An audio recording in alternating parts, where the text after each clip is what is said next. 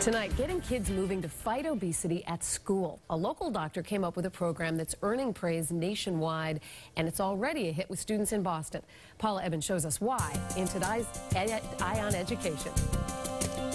It's just been a pleasure to see the kids so early in the morning uh, walking with me and with each other and with the teachers. At the Josiah Quincy School in Boston.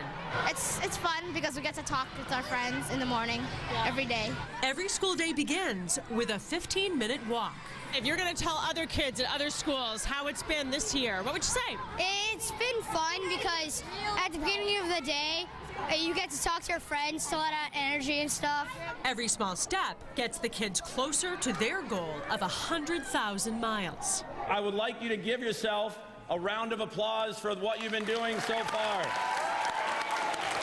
First year gym teacher Tom Levitt joined the Billion Mile Race, led by New Balance and Tufts University, to get kids moving at U.S. schools until they collectively reach a billion miles.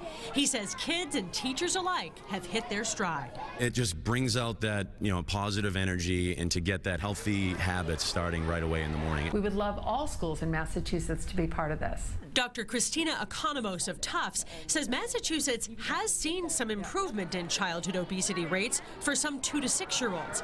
The Billion Mile Race is a competition designed to target elementary age kids. 4,500 schools have enrolled, and they've already logged 25 million miles. You want to get kids excited just about moving. Right, overall, exactly, throughout the day and for the rest of their lives. Their favorite part of the day, and the best part is it's easy and it's free. If you'd like to get your school involved, just go to cbsboston.com. We have all the information there. And if you have an Eye on Education story for us, email us at eyeoneducation at cbs.com or tweet me at Paula Ebben, WBZ.